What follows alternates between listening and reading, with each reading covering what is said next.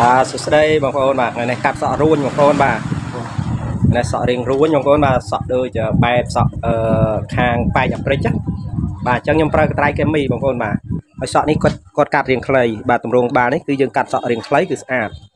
បាទអញ្ចឹងខ្ញុំប្រើកត្រៃគីមីអញ្ចឹងទៅទស្សនាការកាត់ខ្ញុំទាំងអស់គ្នាបាទអញ្ចឹងដំបូងខ្ញុំប្រើពុំលេខលេខ2បងប្អូន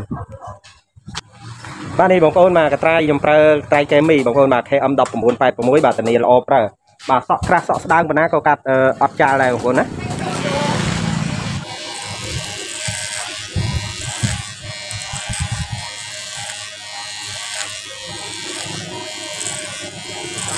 សក់នេះគេហៅថាម៉ូតអឺឡុងសុងដឺមីបងប្អូនបាទឡុងសុងដឺមី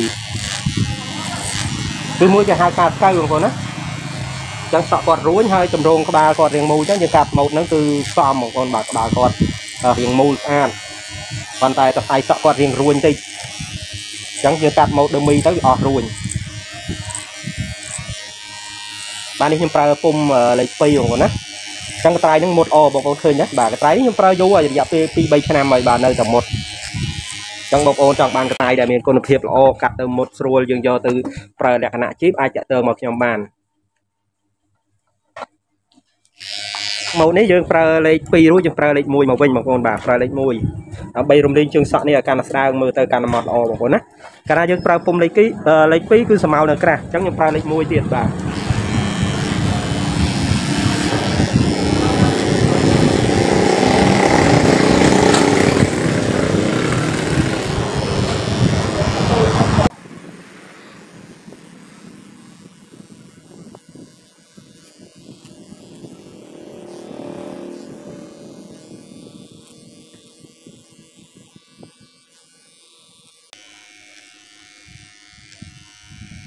បាទយើងប្រើពុំលេខ1ទៅវាស្មើកាន់តែមើលទៅម៉ត់ហើយសស្អាតហើយស្មើបដិញគ្នាអញ្ចឹងកត្រៃនេះប្រើពុំស្រួលប្រើបងប្អូនណាបងប្អូនដែលរៀនកាត់សក់ថ្មីថ្មីបងប្អូនចង់បានកត្រៃស្រួលប្រើស្រួលធ្វើស្មើបាទអាចចាក់ទងមកខ្ញុំបានបាទយើងប្រើពុំលេខ1រួចយើងប្រើពុំលេខកន្លះទៀតគិតស្មើនឹងកាន់តែស្អាតបាទអញ្ចឹងម៉ូតនេះហៅថាឡុងសុងដឺមីបាទ ម៉ូតនេះគឺប្រហាក់ប្រហែលនឹង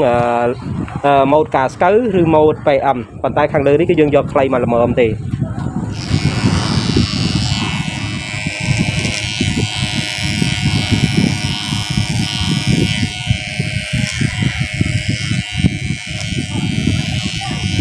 ចឹងម៉ូតនេះគឺយើងអត់យកស្មៅសខ្លាំងទេបងប្អូនយើងយកស្មៅប្រើលេខកន្លះរួចយើងបោះមកកត្រៃផ្ទាល់បោះក្រោមក្រោមហ្នឹងគឺ បានហើយកុំឲ្យសស្មៅសនឹងឡើងខ្លាំងគឺចេញរឿងស្ទៀវអញ្ចឹងម៉ូតឡុងសុងដឺមីគឺស្មៅបដិញបាទពីសសខាងក្រោមហ្នឹងបដិញខ្មៅឡើងគឺឲ្យស្មៅនឹងស៊ីគ្នារហូត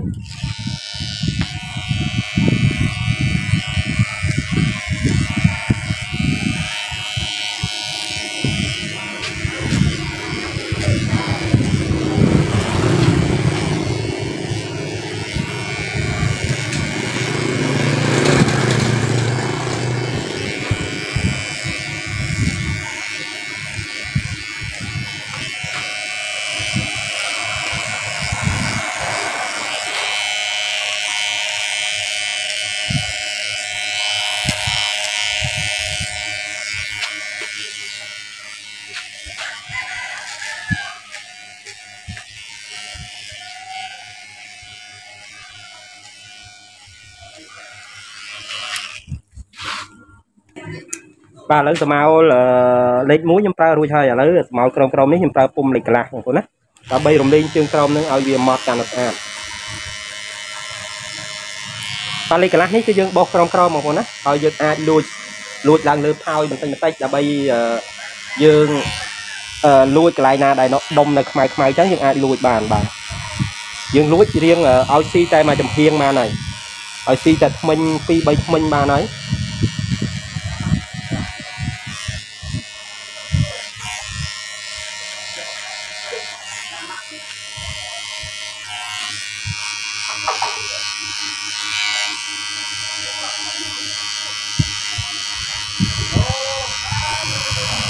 នេះខ្ញុំលួចស្មៅលួចស្មៅកន្លែងណាវាធ្លុកអញ្ចឹងវារៀងនៅខ្មៅកាលណាយើងលួចយើងអាចសារ៉េមុខនេះបាន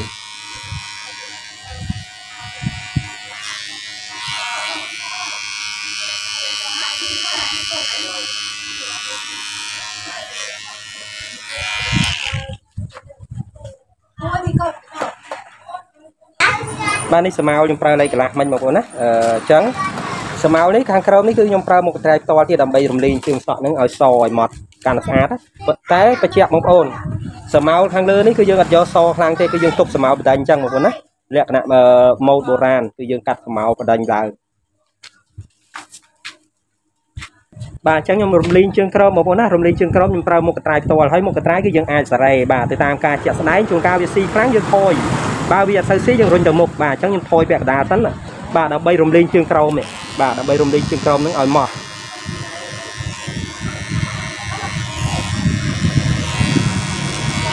បាទប្រើមុខកន្ត្រៃផ្ទាល់យើងថោយថោយខាងក្រោមហ្នឹងបងប្អូនហើយបើយើងចង់លួចសមោលខាងលើគឺយើងសារ៉េអានេះថយក្រោយឲ្យអត់បាទដើម្បីកុំឲ្យស៊ីខ្លាំងអានេះយើងលួចសមោលកដាលបងប្អូនណាគេហៅថាលួចសមោលជើងក្រោមដើម្បីកុំឲ្យដាច់សមោលអញ្ចឹងការធ្វើសមោលនេះបើបងប្អូនមានលេខកន្លះស្រួលប្រើអញ្ចឹងបងប្អូនបើវាដាច់សមោលនេះវាសបដិញឡើងអញ្ចឹងបងប្អូនចង់បានកត្រៃមានតំណប់លេខកន្លះអាចចាក់ទៅមកខ្ញុំបានបាទកត្រៃកែមីគឺល្អប្រើថ្មកាន់ថ្មិញមុតល្អកាត់អត់ក្តៅទេថ្មិញវាបងប្អូនណា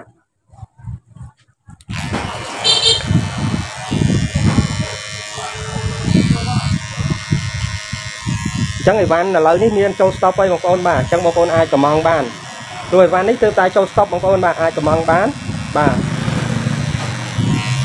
បងប្អូនចង់បានជាឈុតយកទៅបើកហាងថ្មីក៏បានបងប្អូនណាតម្លៃក្រមតែ100ទេ100ដុល្លារយើងអាច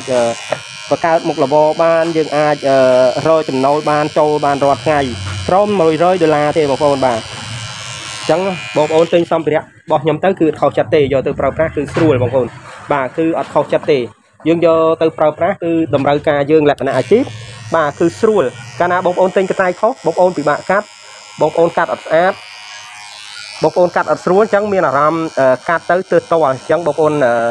ចង់បានកន្លែងល្អហើយតម្លៃធូរថ្លៃអាចតាក់ទងមកខ្ញុំបានបងប្អូនទិញតែម្ដងគឺរួចស្រេចហ្មងបងប្អូនបាទអត់ខុសទេព្រោះសម្ភារៈហ្នឹងគឺខ្ញុំប្រើខ្លួនឯងផ្ទាល់បាទឥឡូវជើងសក់ខាងក្រោមខ្ញុំកាត់រួចរាល់ហើយបងប្អូនបាទសមោលឡុងសុងដឺមីនេះគឺខ្ញុំយកប៉ុណ្ណេះបងប្អូនបាទ អញ្ចឹងអឺខ្ញុំតម្រាំបងប្អូនបាទខ្ញុំប្រើប្រភេទកត្រៃតម្រាំបងប្អូនបាទតម្រាំជើងសក់នេះដើម្បីចេញឲ្យចេញរៀង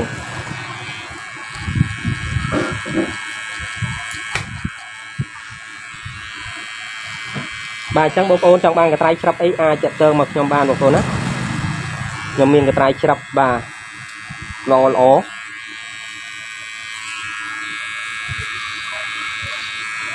បាទតម្លៃធូរថ្លៃយកទៅប្រើប្រាស់លក្ខណៈអាជីពបាទឃើញថាដូចកៅអញ្ចឹងបងប្អូនបាទគឺយើងតម្រំអញ្ចឹងរួចហើយយើងកៅស្រួលបាទយើងកៅថែមតិចតិចទៀតទៅ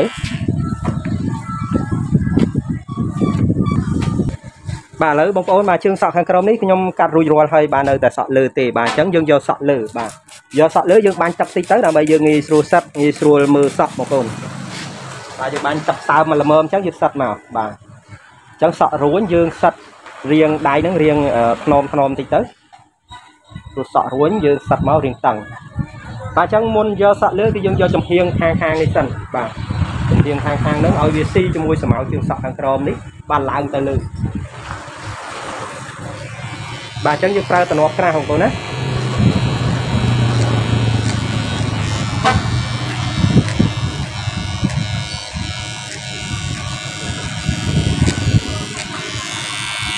បាទយើងយកខាងខាងឲ្យស៊ីសម្ៅជើងសក់ខាងក្រោមសិន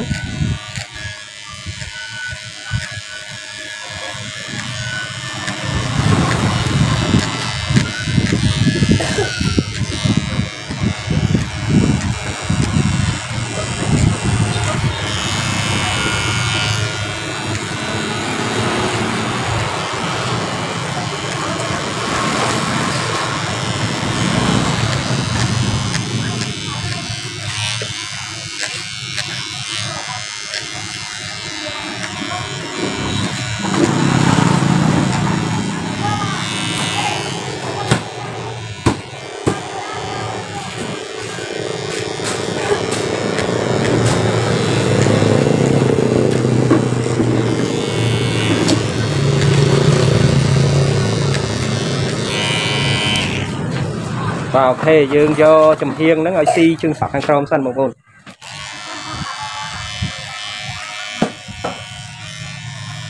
កាលណាយើងយកចំហៀងនេះអត់ស៊ីគ្នាទេយើងយកខាងលើមកអត់ទៅសមគ្នាទេ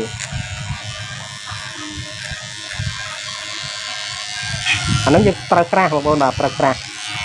ដើម្បីយើងតប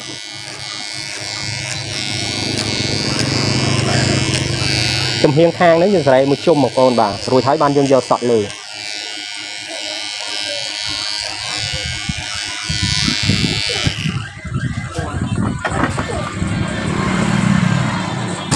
បាទអញ្ចឹងបងប្អូនបាទចំហៀងខាងខាងនេះយើងយករួចរាល់ហើយ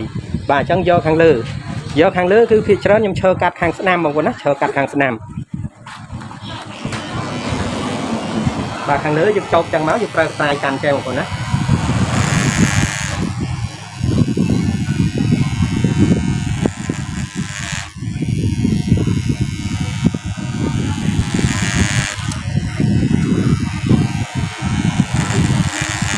យើងកាត់កណ្ដាលក្បាលមុនបងប្អូនបាទកណ្ដាលក្បាលរួចចាំបានរុញទៅខាងខាង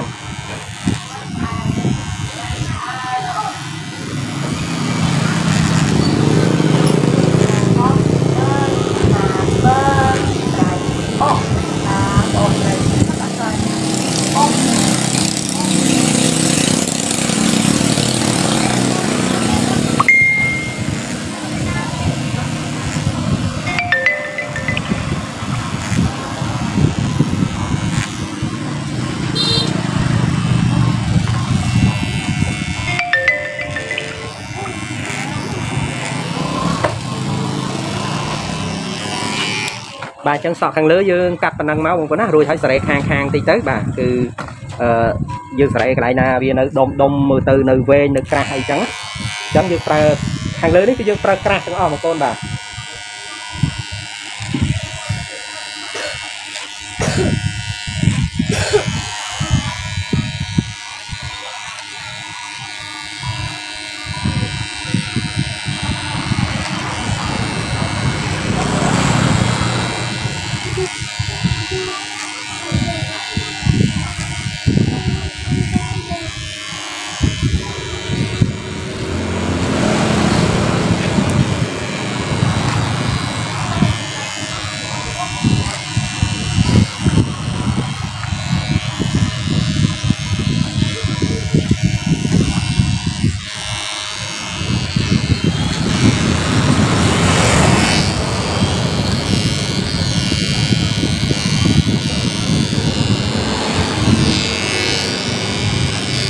ជើងសារ៉េកន្លែងណានៅក្រាស់ហើយនៅមើលទៅខ្មៅដុំដុំយើងព្យាយាមព្យាយាមយកវាច្រើនដងទៅឲ្យស្មើគ្នាមើលទៅវាស្មើស្អាត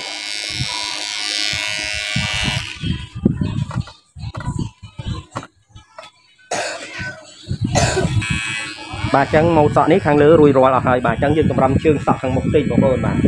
ដោយសារសក់ខាងមុខហ្នឹងវាទៅស្មើអញ្ចឹងយើងកម្រាំតិចតិចទៅ កុំលូកចូលជ្រៅពេកកាលណាលូកចូលជ្រៅពេកមើលទៅអត់ទៅអមមើលទេយើងសម្រាប់ក្រោមក្រោមអាហ្នឹង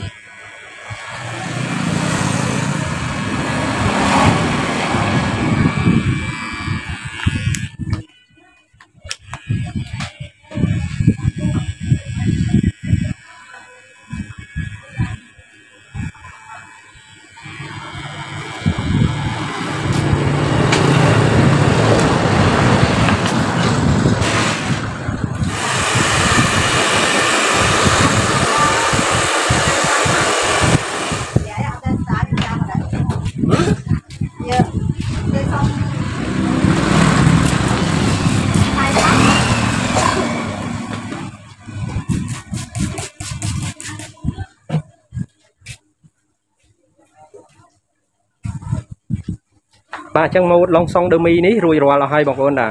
ម៉ូតនេះប្រហាក់ប្រហែលនឹងម៉ូត PM ឬមួយម៉ូតកាស្កៅបាទអញ្ចឹងម៉ូត PM គឺវាខុសគ្នាត្រង់ថាខាងក្រោមនេះយើងឈូសសូឡើងបដាញ់ឡើងដល់លើដល់កន្លែងបែកចៃសក់ប៉ុន្តែម៉ូតដឺមីនេះគឺយើងឈូសសម្រាប់បដាញ់ឡើងគឺយើងទុកខាងលើនេះមកសិតកើតបងប្អូនបាទអញ្ចឹងវាខុសគ្នាត្រង់ហ្នឹងបាទឡុងអឺឡុងសុងដឺមីបាទអញ្ចឹងម៉ូតដឺមីបងប្អូនណានេះបងប្អូនបាទមកសិតកើតម៉ូតហ្នឹងបាទ អញ្ចឹងនៅតកៅទេបងប្អូនបាទអញ្ចឹងខ្ញុំកៅឲ្យគាត់ប្រហើយសិនហើយខ្ញុំនឹងបញ្ចប់វីដេអូនឹងប៉ុណ្ណឹងចោះបងប្អូនបាទអញ្ចឹងសូមជម្រាបលាបងប្អូនបាទអញ្ចឹងបងប្អូនពេញចិត្ត